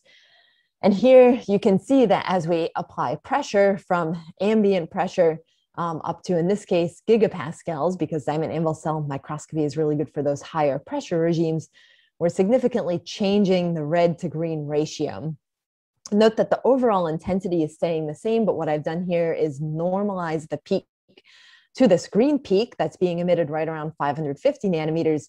So that way you can see there's quite a significant change in the red to green ratio. So in this case, when we apply pressure, the red peak goes up substantially and that gives rise to a corresponding color change. So if you just look at the images of the nanoparticles excited in near infrared, um, emitted in the visible, as you increase the pressure, the particles become more red and hence go from looking kind of this yellowish color to more of an orange color. And importantly, this process is repeatable. So there's no phase change or permanent phase change in the nanoparticle. We're just changing um, how that manganese energy level is um, located with respect to the erbium energy level. And you can also see that the change in the red to green ratio is linear with applied um, pressure. So if you correlate this pressure to a force by using the surface area of the nanoparticle, we estimated that the forces we were sensitive to were in the few micronewton regime. But to confirm that, we needed to develop um, a new method where we could directly apply force rather than hydrostatic pressure. And what we did is uh, make a home built uh, confocal microscope um, that sits beneath an atomic force microscope. So that way we could use the AFM tip um, to press on individual nanoparticles that we synthesize and then simultaneously collect the spectra of those nanoparticles. So here you can see a confocal image where I've outlined individual nanoparticles in green that we've confirmed um, as being individual by also taking an atomic force microscope scan over our nanoparticles. And when we um, apply a force on these particular nanoparticles, this is actually our strontium host, we went from no force up to three micronewtons, again, normalizing to the green peak, you can see the red peak goes down. And then when we go from three micronewtons back to ambient or no force being applied, the red peak goes up. So we again see that nice linear change in the red to green ratio. And it's repeatable. So as we increase the force and then decrease the force, we not only have that linear change, but we have repeatability over many cycles in this few micronewton down to nanonewton force regime. So for in vivo imaging, some of the first organisms that we focused on were C. elegans. These are small roundworms, which actually have 83% of their genes homologous to humans. Um, and one of the reasons why we started working with C. elegans is it has um, a really impressive rhythmic cycle of digestion. So it eats and digests its food and excretes its food roughly every 45 seconds. Um, so it's a really great organism for understanding various biological rhythms and clocks. And then additionally, it also has an indiscriminate palate. So this worm normally eats bacteria, um, and it turns out you can just kind of sprinkle the nanoparticles on top of the bacteria um, and it'll uh, kind of chew it up as if, uh, as my colleague says, are kind of M&Ms on top. So here's a three-dimensional uh, confocal Z-scan where you can see the nanoparticles upconverting inside of C. elegans. And our goal was basically to show that we could feed the nanoparticles to C. elegans and then map out what are some of the forces involved in digestion of food. So here we incubated our nanoparticles overnight in bacteria, and you can see pre-feeding and post-feeding, the nanoparticles come out intact In fact, after feeding, they almost come out a little bit better, likely because some of the digestive acids kind of etched away some of the surface impurities. And there's also probably a bit of a, a protein corona around the nanoparticles. So before doing force imaging, we wanted to test the biocompatibility, and we use one of the most common chronic um, cytotoxicity assays in C. elegans, which is called a brood assay. Essentially, you're identifying how many um, offspring uh, an adult worm will have, and you can do that by counting the number of eggs that the worm lays. And we can see that without nanoparticles and with nanoparticles, the number of eggs is roughly the same across multiple trials. So from this, we um, ascertain that nanoparticles don't have any chronic cytotoxicity effects on C. elegans.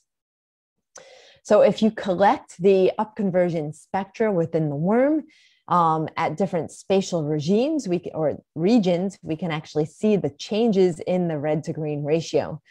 So for example, zooming into the worm over here, we can look at the grinder, which is almost like the um, teeth or equivalent to the teeth of the worm. It's where the bacterial food gets kind of chewed and broken down. And then it gets uh, swallowed and passed into what's called the pharyngeal intestinal valve. So if we normalize to the green peak, just looking at the static image, you can see that there's a change in the red to green ratio. And if you compare that to particles either before they've gone into the worm or after they've been excreted, again, there's about a 6% change in the red to green ratio compared to the valve. So the grinder is where we would have expect to have seen some of the largest forces in this worm. and using our uh, calibration, we estimate that there are about uh, 10 micronewton forces being applied within the grinder and about one to two micronewton forces that are in the pharyngeal intestinal valve.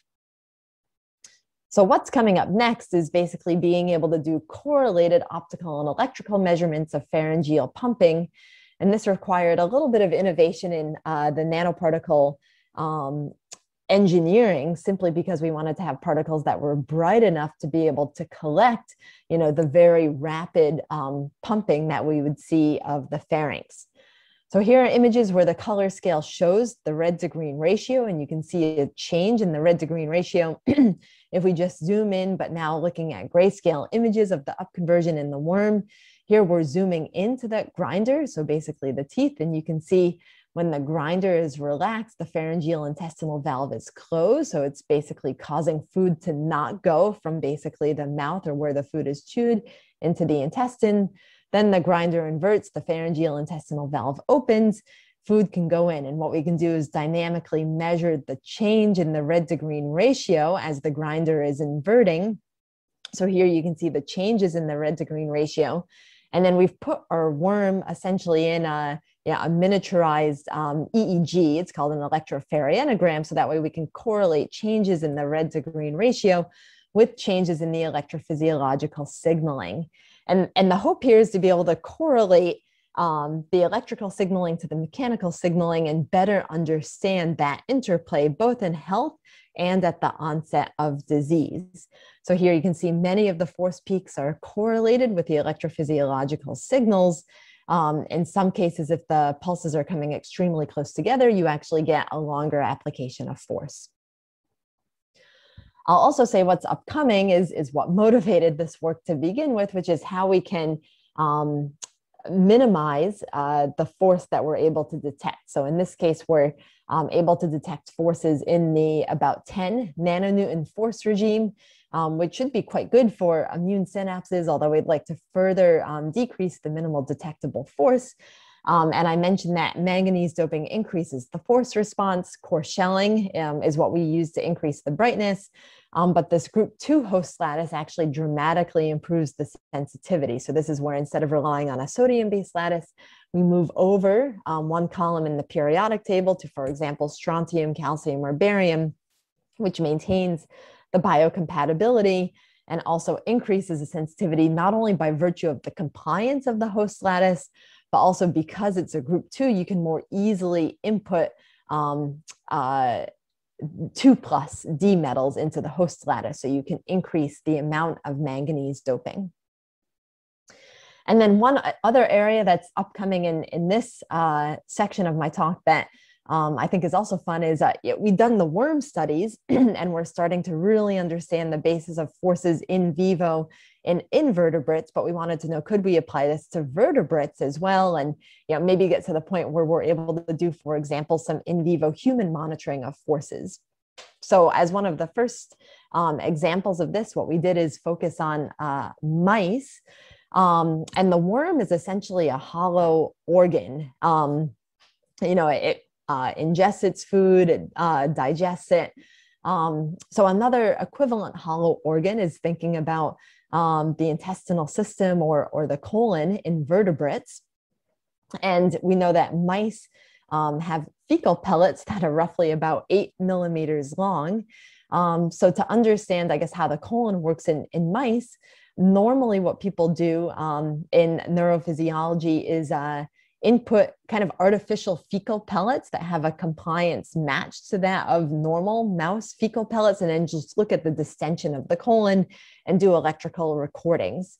Um, but instead of looking at the distension, we thought maybe we could use an optical sensor to get a more quantitative um, and more rapid readout of the interplay between electrical and mechanical forces in the gastrointestinal tract. Um, so here's the mouse colon, which I said is part of the enteric nervous system. So it actually functions in an autonomous fashion. You can remove it from uh, the mouse and, and still watch it contract. Um, and then we inserted the um, pellet mimic, um, which in this case is a polymer with a compliance match to that of a normal mouse fecal pellet. Um, and then uh, inserted uh, upconverting nanoparticles into these pellets. So that way we could look at the change in the red to green ratio um, as the mouse colon kind of contracts.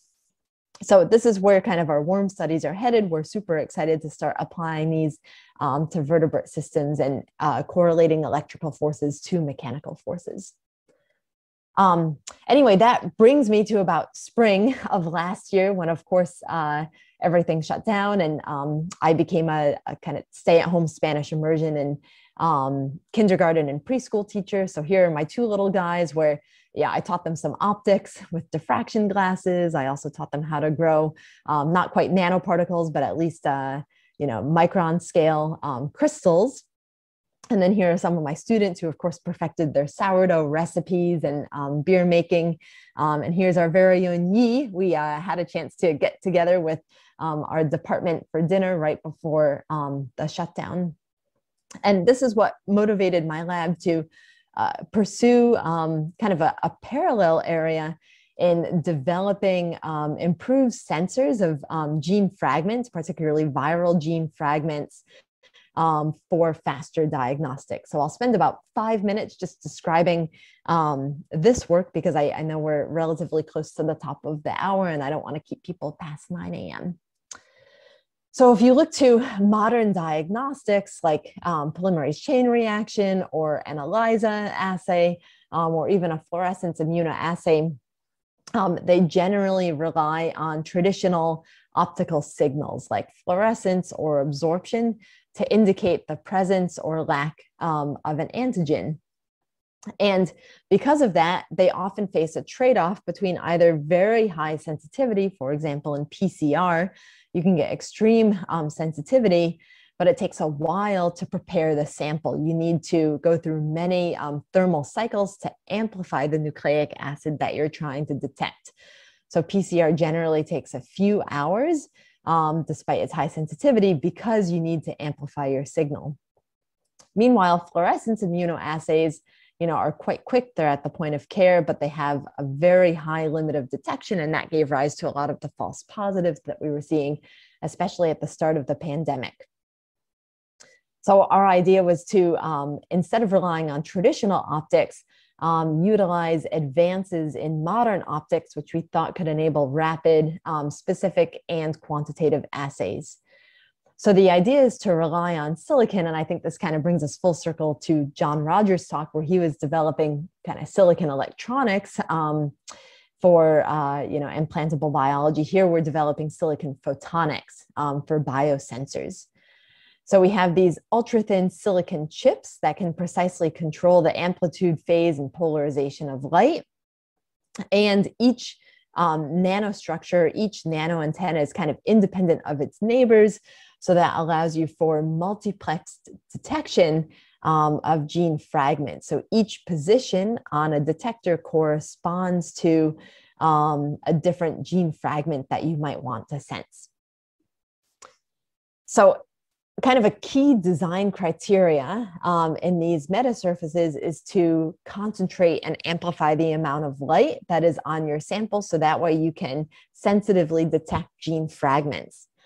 And if you think about just illuminating a silicon slab with um, light, um, normally you're just going to get the transmitted light showing a number of peaks and dips that correspond to Fabry-Perot resonances of the sample. But we know that there's also a waveguide mode that can be excited. This is a lot like the mode that you'd have in a fiber optic. It's just that normally incident light or light that's coming from the top can't really excite this waveguide mode because its wave vector or its momentum is higher than the momentum of light in free space. So what we do is insert um, a grating or basically grooves into the silicon slab. And if we have a, a grating with a period of 650 nanometers, um, that is going to couple to a photon energy of 1.47 microns. So you'll see here when I animate in um, with the addition of the grating, the electric field gets boosted up by about 100x, and we have this extremely sharp, high quality factor resonance. Um, so a lot of times people think I'm just drawing a blue line here, but you can see the zoom in kind of classic Fano line shape where we're taking normally incident light um, and coupling it into this waveguide mode, creating what's called a guided mode resonance. And the sharpness of this peak and the strong electromagnetic field enhancement is really crucial for high fidelity sensing. Um, and the sharpness of the peak is embodied in, in what people would call a quality factor. So we can achieve quality factors in the thousands um, to tens of thousands um, in these structures, which gives us very high fidelity sensing. And in addition to the high quality factor, another advantage of these nano antennas is that because the high quality factor comes from independent silicon bars, so now I've basically taken that silicon slab and rotated it into and out of the page, we can also steer light. So here I've shown you how we can get, for example, beam steering to a particular angle. You can also get focusing or beam splitting. And this is really key to be able to do multiplex detection. So here are just some simulations that I'm showing of how with bars that are different widths, you can start to get a variety of optical transfer functions, including in this case, um, beam steering. So in some of our measurements kind of pre-COVID, we showed how we can enable extremely high quality factor phase gradient metasurfaces that enable, for example, beam steering, lensing, beam splitting, um, here's just one example where you can see we put notches into one of these silicon bars. Those notches, like I showed you earlier, significantly concentrate light. So you get strong field um, amplification. And then here we have beam steering to 45 degrees. And if you zoom into what's happening here, right around a wavelength of about 1400 um, to 1500 nanometers, you can see dips in that plus first order diffraction pattern corresponding to an extremely high quality factor resonance, in this case, a high Q resonance over a thousand. Okay, so I mentioned that high Q resonance is key for biosensing. So the key idea here is that we're going to functionalize the surface with single strands of DNA that are complementary to the viral nucleic acid that we want to sense. And when the viral nucleic acid binds, um, it gives rise to a shift in the dip in that transmission spectrum that we see. So here are some of our fabricated structures for biosensing, where you can see the dip um, in that transmitted spectrum is comparable to a nanosecond laser. And generally, we found that to get about nanomolar sensitivity, we can fabricate structures with Qs um, of about 1500. So here we have um, chains of, of blocks that allow for high fidelity sensing. Each um, row of blocks is independent from its neighbors. And here you can see kind of each of these you can think about as a resonator. So if we look at resonator A and resonator B, they have slightly different resonances um, that you can see here in the spectra. And if we functionalize each of these with different st strands of nucleic acids, we can um, simultaneously monitor in the images how each of these spectral shifts is changing. So we can look, for example, at how resonator A is changing its resonance, how resonator B is changing its resonance. And we can pattern literally millions of these on a single chip. So we're limited more so by just how precisely we can do the functionalization. Okay, so to determine the sensitivity of the assay, what we did is flow in um, salt water, so different concentrations of, of salt in our water, which slowly changes the refractive index. So we had a home built kind of 3D printed flow cell that allowed us to introduce um, saline water and at different weight concentrations of the salt, we're able to get a nice linear change in that resonant wavelength shift with um, a sensor sensitivity of about 300 or over 300 nanometers per refractive index unit. And then for sensitive uh, gene fragment detection, what we do is functionalize the surface essentially with single stranded DNA um, with a known concentration. And then we flow in uh, the viral nucleic acid um, and look at changes in the resonant wavelength upon binding. So basically upon hybridization of the single stranded DNA with the viral nucleic acid. And with COVID, uh, we partnered with the clinical um, virology lab at Stanford um, and decided to focus on two gene sequences that are each about 25 nucleotides long. Um, the NCOV-E gene, um, which was used predominantly in the EU, and then the Hong Kong open reading frame. So if you look at each um, step of the functionalization as you go from the blank silicon wafer all the way to the fully functionalized wafer, for example, with the single stranded DNA, we get roughly a half to one nanometer shift at each step of the functionalization. Um, and then when we go from uh, the single stranded DNA to um, kind of that double stranded duplex, where we have the viral RNA plus a single stranded DNA, we can actually get wavelength shifts within about 10 minutes, or certainly no more than 10 minutes um, of introducing the nucleic acid. The sensor is also extremely specific to the targeted genomic sequence. So if we look at the complementary um, probe, we can get about a nice one nanometer shift. If we look at the non-complementary probe, um, we get no shift um, in the resonance that we're seeing. And that's confirmed by fluorescence imaging, where we take our target nucleic acid and we bind it um, with a fluorophore. So we can use fluorescence imaging as kind of a, a nice control to show that when we have the complementary nucleic acid, we do get strong binding. When we have the non-complementary viral nucleic acid to what we put down on the surface, we get minimal fluorescence. So this is one of my final slides, which kind of shows you how this particular biosensor fits in with the landscape of existing sensors. And in many ways, I think we're standing on the shoulders of giants um, with folks who have spent you know, years developing, for example, resonators that have extremely precise kind of spatial or diffractive control, which is really crucial for multiplexing and being able to independently assign different nano antennas to different genetic fragments. But generally, these have suffered from low quality factors. And then if you look to sensors that have extremely high sensitivity and therefore high quality factors like photonic crystals or ring resonators, unfortunately there you wind up compromising the degree of spatial or diffractive control you could get. So here normally the high quality factor comes from kind of extended periodic structures, or in the case of ring resonators, you need to couple light in using fibers. So what this work does is show that the trade-off between spatial and diffractive control and sensitivity is by no means fundamental. We can develop these high quality factor metasurfaces that can enable sensitive and multiplex detection. And I think the promise of this, going back to John Rogers' comment on how you might scale this, is that you know it's a, a very lightweight kind of flexible form factor that you could put into a number of applications for translation and then you also leverage, of course, CMOS compatibility. So you these are simply silicon structures that you can create over large areas. Um, so with that, hopefully I've uh, convinced you that nanophotonics does have a place in the microbiology lab.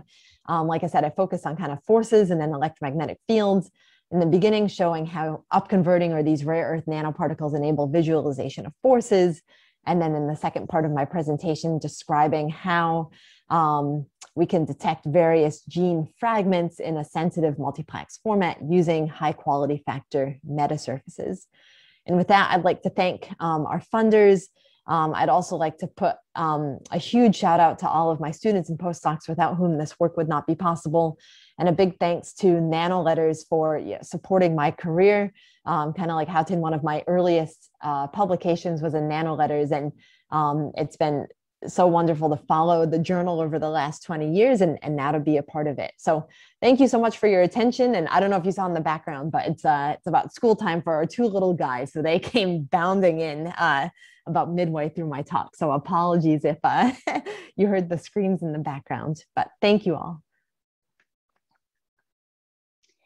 Thanks so much, Jen. Um, we're a little bit over the time for your questions. So what we would like to do um, is to open up for the, the panel discussion, partly because this is a, a characteristic, it's a feature that's unique to the webinars, is to get three of the uh, eminent scholars together and to discuss some of their vision and, and their future. But, but I just wanted to say thank you for the elegant talk. We just, it just ran a little bit, just a little bit over.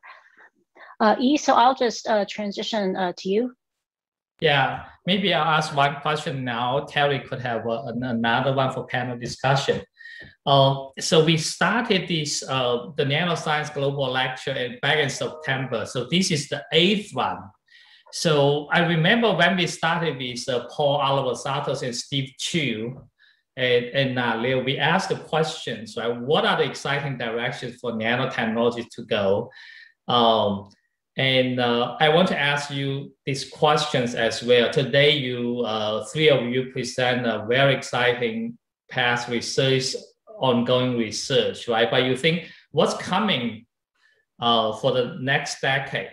So, do you want to share with us? Maybe each, each person like a minute or so. John, we can start from you.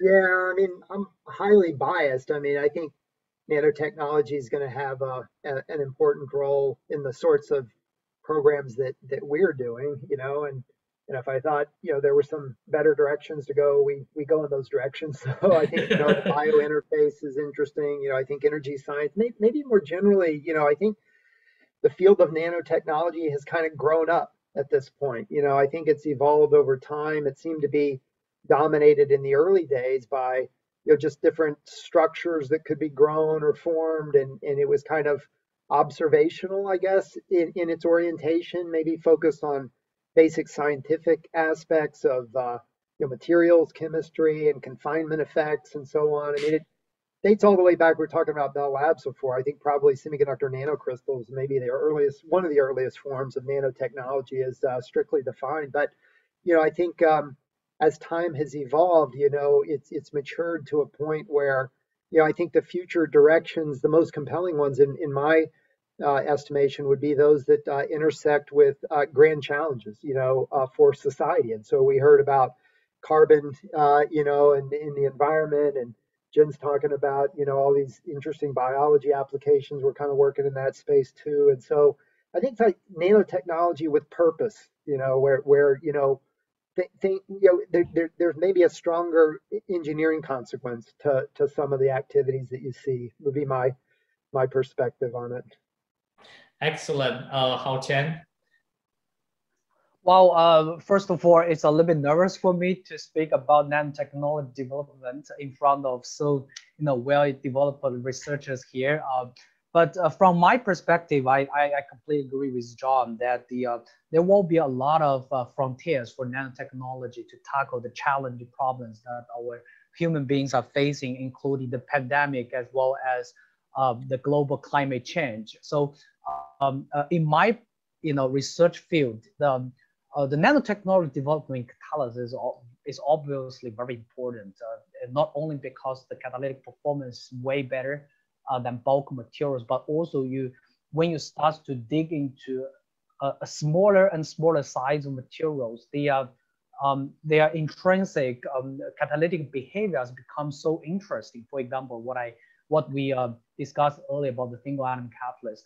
So uh, with the, the, the, the, urgent need of the um, uh, climate change and the, the uh, energy revolution uh, from the traditional fossil fuels to the renewable electricity, I believe the nanotechnology will play central roles uh, in energy storage and green chemicals and the fuel synthesis, including, you know, uh, EU are focused on the batteries research, as well as the um, catalysis research.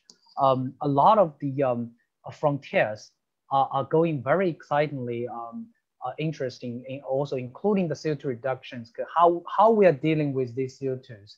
I, I believe the nanotechnologies will play a central role in the next 10 years or so. Jen? Yeah, I'll just, you know, I, I think the two panelists said it perfectly. I think we can apply nanomaterials to you know, some of the grand challenges that we're seeing in energy, sustainability, and health and information. Um, two key things I want to add that I think are really exciting avenues for nanoscience.